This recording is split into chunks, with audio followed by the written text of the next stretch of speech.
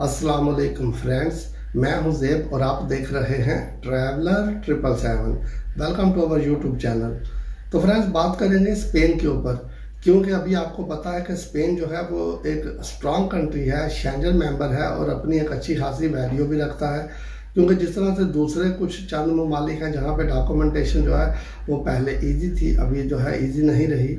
Like like example के तौर पे आप पुर्तगाल देख रहे हैं तो पुर्तगाल में अभी जो है डॉक्यूमेंटेशन का सिस्टम फ़िलहाल बंद है, पता नहीं कब ओपन करेंगे। तो इसलिए आपके लिए अभी ये वीडियो लेके आए कि स्पेन जो है इस वक्त वो एक बेस्ट ऑप्शन है स्पेशली उन लोगों के लिए जिनके पास डॉक्यूमेंट्स नहीं है।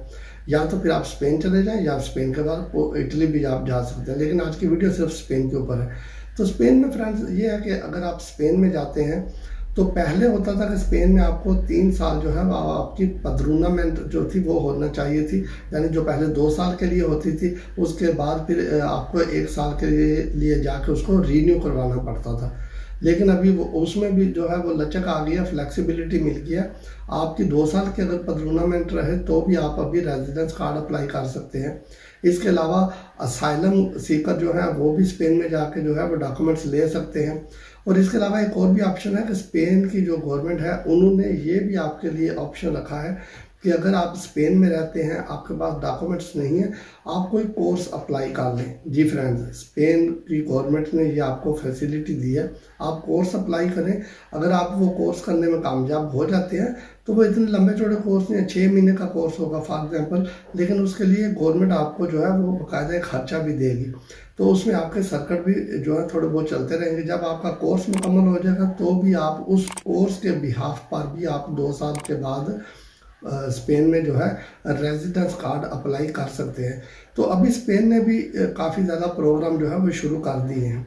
इसके अलावा फ्रेंड्स ये है कि जिस तरह मैंने पहले असाइलम का बोला, अगर आप असाइलम सीकर हैं, आपका केस जेनवन है, आप स्पेन में जाके असाइलम अप्लाई कर सकते हैं।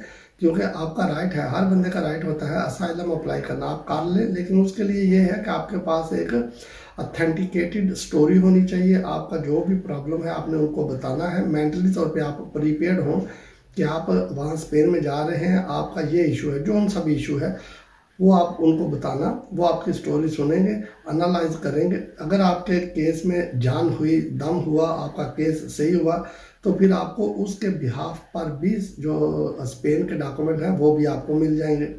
या फिर ये होता है कि मेडिकल के बिहाफ पर भी आपको डॉक्यूमेंट मिल जाते हैं। यानी कि अगर आप स्पेन में जाते हैं, आप बीमार हैं रियली आप बीमार हैं, यानी आप प्रूफ उनको दे सकते हैं प्रोवाइड कर सकते हैं।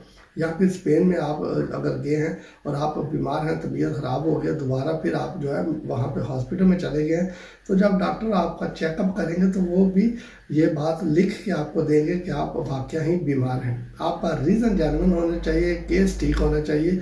और जो है वो बीमारी के बिहाफ पर भी आपको डॉक्यूमेंट्स मिल जाते हैं।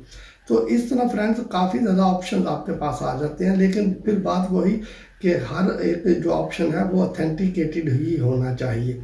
चाहे तो आप असाइलम सीकर हों, चाहे तो आप मेडिकल के बिहाफ पर डॉक्यूमेंट लें या कोई आप कोर्स वहाँ पे कर लें या फिर आप इमिग्रेशन के मुतलिक रेजिडेंस कार्ड लेना है तो हर चीज़ आपकी ठीक होनी चाहिए। कहीं भी ये दो नंबर डॉक्यूमेंट्स को यूज़ नहीं करना चाहिए, ये कहीं ना कहीं आपके सामने आके अटक जाते हैं। तो इस तरह से फिर ये होता है फ्रेंड्स कि जब ये आपके सामने आके अटकेंगे तो आपका मसला ख़राब होगा।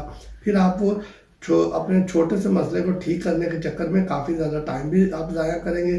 टेंशन अलहदा होगी। बाद में जो वकील हजरात हैं, उनके पीछे आप भागेंगे, उनको भी पैसे देंगे।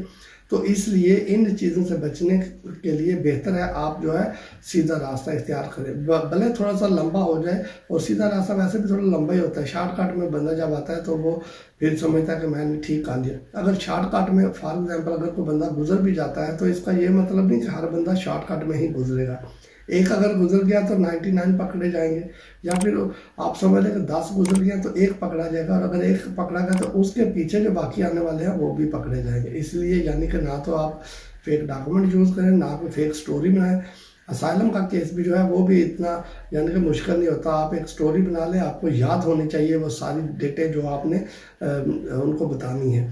फिर उसके अलावा आपने एविडेंस भी प्रोवाइड करने हैं। अगर आपको अपने होमलैंड में प्रॉब्लम है, कुछ भी है, अगर आपके पास न्यूज़पेपर की कटिंग है, कुछ प्रूफ है, अगर किसी का केस ऐसा है कि कोई एफ़ आई आर हुई है आपके ऊपर तो उनके भी प्रूफ आपके पास होने चाहिए। पेपर जब आप वहाँ पे असाइलम अप्लाई करेंगे, उनको स्टोरी बताएँगे तो वो आपसे डिमांड करेंगे तो आप उनको प्रोवाइड कर सकें। तो इस तरह की जो चीज़ें हैं फ्रेंड्स जी आपके जहन में होनी चाहिए, आपको पता होना चाहिए। और स्पेन एक अच्छा कंट्री है। लोग बड़े वार्म वेलकम हैं वहाँ के स्पेन के। स्पेनिश फ़ूड बड़ा ज़बरदस्त है। और जो लिविंग स्टैंडर्ड है या रहने का मज़ा है, वो भी अच्छा है स्पेन में। मैंने बहुत दफ़ा स्पेन का विज़िट किया है। मुझे खुद भी याद नहीं कि मैं कितनी दफ़ा गया हूँ। तो इसलिए आप भी स्पेन आएँ। आप स्पेन में रुकें स्पेन में स्टे करें। तो फिर आप वहाँ पे स्लोली स्लोली स्पेनिश लैंग्वेज भी सीख जाएँगे। बाकी आपको वहाँ पे जो रहने सहने का तरीके हैं बाकी चीज़ों की भी बंदे को समझ आ जाती है। तो फ्रेंड्स ये ज़रूर बताइएगा कि वीडियो आप हमारी कौन से कंट्री से देख रहे हैं ताकि आपका शुक्रिया अदा किया जा सके। बाकी इसके अलावा ये है कि स्पेन शाइजर मेंबर है और उनकी ऑफिशियल लैंग्वेज स्पेनिश है करेंसी उनकी भी यूरो है कैपिटल स्पेन का मैड्रिड है और स्पेन एक खूबसूरत कंट्री है। स्पेन के बीच बहुत ज़बरदस्त है। इनके आइलैंड बड़े ज़बरदस्त हैं। कभी आपको मौका मिले स्पेन में विज़िट करने का तो आप आइए। आप देखें कितना खूबसूरत कंट्री है, बड़ा कंट्री है स्पेन। तो फ्रेंड्स ये एक छोटी सी वीडियो थी इन्फॉर्मेटिव थी। अगर वीडियो अच्छी लगे तो चैनल को सब्सक्राइब कीजिएगा वीडियो को लाइक और शेयर कीजिएगा। स्टेट यून फिर मिलते हैं किसी नई वीडियो में, किसी नई अपडेट के साथ। टेक केयर अल्लाह हाफिज़